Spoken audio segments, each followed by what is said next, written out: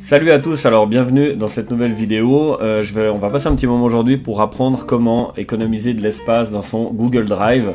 Alors Google Drive c'est un, c'est un outil qui est proposé par Google qui permet de stocker en fait online euh, ses fichiers. Il y en a plein qui connaissent pas. C'est euh, disons livré gratuit avec Gmail, donc il suffit d'avoir un compte Google et on va pouvoir utiliser Drive.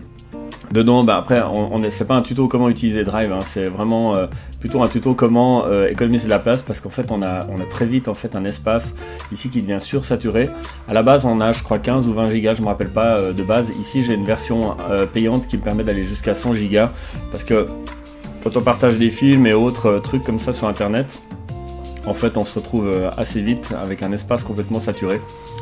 Et là, euh, justement, bah, aujourd'hui, le but, c'est de savoir, euh, de connaître cette petite astuce qui est en fait hyper simple et qui permet justement de classer tous les trucs par taille.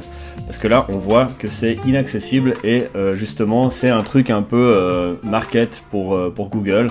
C'est que tu saches pas en fait comment, enfin, qu'est-ce qui pèse lourd dans ton stockage comme ça. Bah, ils peuvent te revendre en fait des espaces supplémentaires. Alors ça coûte pas très cher justement, moi je paye je crois 2 balles par mois, un truc comme ça, mais euh, je, sais pas, c'est tellement pas cher que je me rappelle même pas combien je paye. Et puis euh, sinon, ben effectivement 15 gigas c'est assez vite saturé. Et en fait, euh, voilà, l'idée c'est qu'ils te disent pas le poids de tes trucs.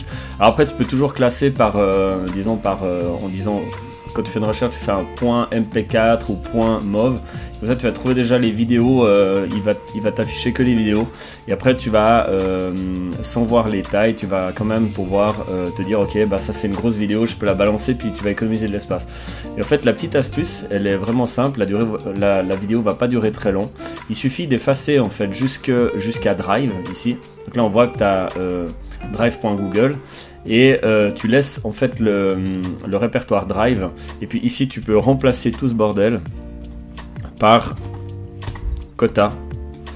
Et quand tu fais ça il va te sortir en fait dans l'ordre automatiquement euh, du plus lourd jusqu'au plus léger.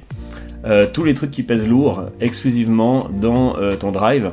Et ça bah, du coup ça te permet par exemple ici on voit que j'ai 4 gigas rien que pour les indestructibles. Alors je vais l'effacer. Donc je le supprime. Et alors l'autre astuce, c'est qu'il faut après, euh, évidemment ça suffit pas, parce qu'en fait ça va pas changer grand chose à ta taille. Ici, tu vois, là j'ai euh, toujours 61.7 Go d'utiliser, alors que je devrais en avoir moins puisque je viens de retirer 4 Go. Voilà, ici il y a d'autres vidéos et tout ça, enfin j'ai rien à cacher, vous pouvez tout à fait lire les, les, vidéos qui sont là, tout le monde s'en fout.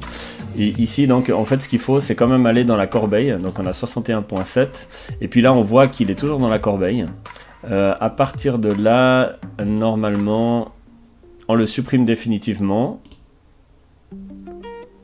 Voilà, toujours 61.7, mais quand je reviens après euh, dans le drive, enfin si maintenant je rafraîchis en fait simplement, voilà, 58.1 giga, donc je viens effectivement euh, d'économiser pratiquement 4 euh, gigas simplement en effaçant un seul fichier. Donc euh, ça permet justement de, voir tout ça. Donc comme je le rappelle on laisse le, drive ici et on met simplement quota et ça va nous permettre de savoir tous les trucs les plus lourds qu'on a sur notre disque et de pouvoir les effacer. Euh, tu peux aussi les effacer en masse par exemple comme ça, clic de droite et puis supprimer. Mais après, il faut pas oublier d'aller dans la corbeille pour la vider. sinon, en fait, ça change absolument pas le poids. Et je sais que ça va rendre service à pas mal de gens parce qu'on a tellement facilement notre espace drive qui est saturé qu'on est tout le temps en train de, obligé d'acheter des services. Et puis c'est souvent euh, pour des mauvaises raisons, puisqu'en fait c'est des fichiers qui ne servent plus à rien, et puis qu'on pourra tout simplement effacer euh, hyper simplement. Voilà. Alors c'était un micro tuto. C'est rare que je parle aussi peu sur cette chaîne. D'ailleurs pour les nouveaux qui, euh, qui découvrent la chaîne, eh ben, je fais pas mal de choses. C'est assez une chaîne de geek comme ça. Donc si vous êtes nouveau, ben, n'hésitez pas à vous abonner, ça me fera méga plaisir. Et puis euh, si cette vidéo vous la trouvez utile, vous pouvez mettre un pouce bleu puis la partager. Euh, ça aussi ça l'aidera vraiment à bien se faire connaître. Ça plaira beaucoup à YouTube et à moi aussi. Et voilà, et moi je vous donne rendez-vous dans, un, dans une prochaine vidéo comme ça de formation. Je vais en faire quelques-unes quand je trouve des bons plans des, petites astuces comme ça, simples à mettre en place, mais qui font économiser un petit peu de temps et d'argent, et ben en fait je les mets à disposition euh, de tout le monde, parce que je trouve que voilà, c'est des contenus qui sont assez valables. Merci d'avoir écouté jusqu'au bout pour ceux qui l'auront fait, et puis ben, je vous dis à très bientôt.